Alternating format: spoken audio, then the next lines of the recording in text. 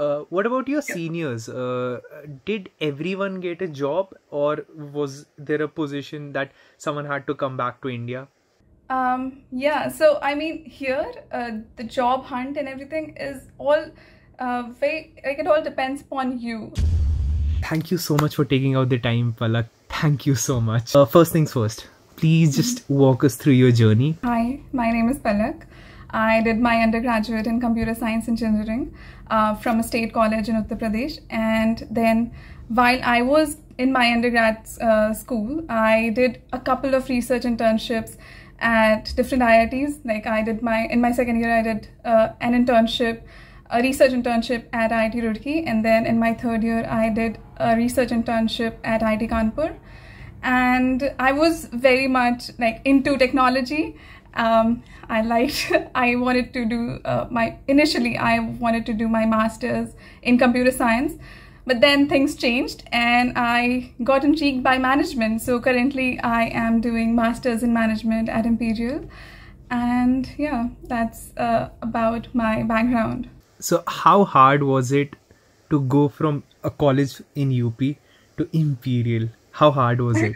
so, um, I would say, yeah, being in a state college in UP and then coming to Imperial was really uh, one of the most challenging things that I've done. Yet I was because I was so passionate about it. Uh, Imperial was my dream school, so I Imperial is a dream school for everyone.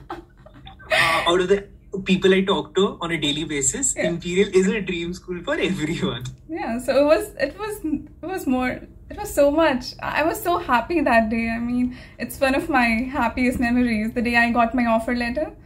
Um, so yeah, if you want me to walk you through the process of uh, applying to that masters. would be great. If you could do that, that would be great. Okay, so there are so Imperial or any other school like um, any other masters school, uh, it requires you like it it assesses your profile overall.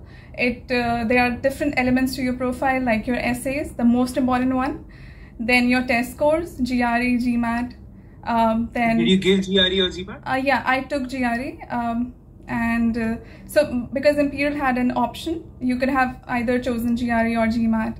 So and I think like currently most business schools have an option for GRE versus all, all yeah. the colleges have a GRE GMAT. You can take either of either of yeah either of them. So yeah, SOPs are the most important. Uh, then test scores, GRE, GMAT then your work experience if you have done uh, some research intern sorry not research that's my background any sort of internships any internships would work uh, but you need to have like at least i would say go for internships start applying for internships as much as you can because that really uh, adds value to your profile so yeah and adds to your work experience and your CV. Did you have work experience or you came from a completely research based based background? I didn't I didn't work in India. I uh, did these like internships during my undergrad and then I came straight out of my undergrad here. So what was your class composition like? So how many people were from India and subcontinent? Uh, so so the masters in management course it's like uh, it's for people who it's like it's called mini MBA. So it's for people who want to do like MBA uh, like MBA modules who want to study MBA modules straight out of their college, uh, who don't have uh, like a huge like more than two years of work experience. So my class on an average has two years of work experience. Like there are people who are straight out of undergrad, and then there are people who have worked for like two three years in India um, or elsewhere in the world. And um, yeah, so it's like an average of two years of work experience. So uh, almost my, ev- uh, so uh, on an average, everyone has a two years of work experience. Yeah. So the average class profile is less than two years, I would say. Uh, so two years is the limit. If you have more than two years, uh, then also you can apply. But uh, MIM requires you to have a work experience of less than two years. Uh, uh, one more thing. Uh, what about your seniors? Uh, did everyone get a job, or was there a position that someone had to come back to India?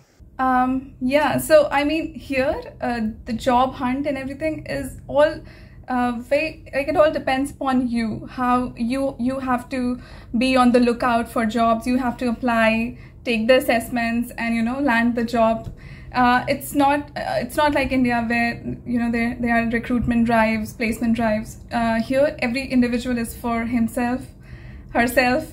Uh, yeah, so it's very much dependent upon you, how much effort you put in. Uh, people who have put in their like huge efforts into their job hunt and everything have gotten a job at the end of the year and yeah so it all depends upon you it comes down to you was Yeah. there anyone who had to come back to India? there must have been some people like two people i'm aware of couple of people that i'm aware of So uh, Yeah. ideally, the spend was somewhere around 35 lakh Indian rupees, if I'm not wrong. uh yeah so the course fee is the tuition fee is 33 um, lakhs INR, yeah the majority of the class uh, they landed a job because yeah because the uh, brand name plus your own efforts add a huge value um, to your profile and yeah so the majority of people got a job but you know there is like uh, the both side of spectrum people landed very good jobs and then there were people that have to like go back So when we talk about the brand name, is Imperial as good as it sounds? Like everyone I talk to wants to either end up in Imperial or London School of Economics. I was recommending a student to his profile was not that great, so I told that person that you can also look into Kings, and that person told me, sir. Either Imperial or London School of Economics, nothing else. So, is Imperial as good as the name is?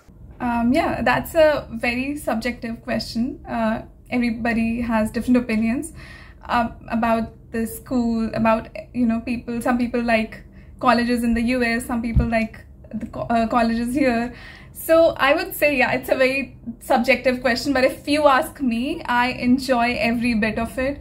Uh, like Imperial surpasses my expectations. Um, it is. I love the people over here, the friends that I've made um, the professors, the resources, and then the opportunities that come with it. You know, it's it's it's it's just immense. I wouldn't have um, like experienced any of it had I been in India.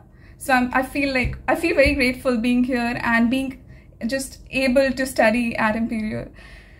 Um, and also, yeah, I was talking about the uh, the elements of your profile. So I just forgot to mention how important letters of recommendations are uh, while you apply. You know, and your undergrad scores also.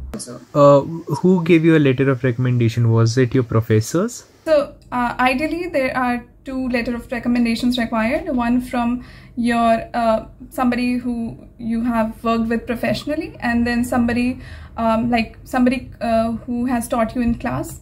So ideally, two.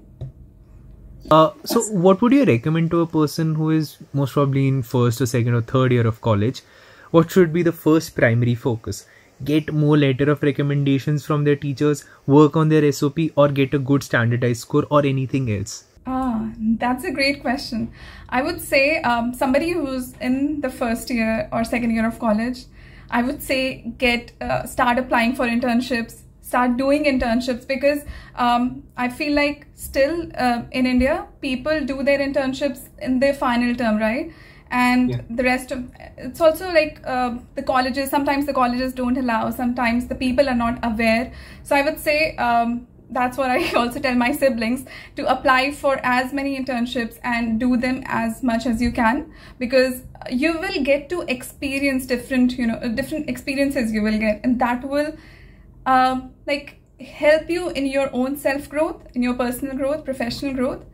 And so, yeah, I would say do internships, and that would be number one. Just one uh, thing. So, when you say internships, do these uh, internships have to be something specific towards the management side? Ideally, you'll not get that in India. Towards sales side, would the, would sales internship work? Uh, yeah, I mean, whatever you are passionate about, whatever, it could be anything. So, I did research internships which were based on computer architecture, was uh, very academic. Uh, and then I uh, am currently doing management, which is completely different.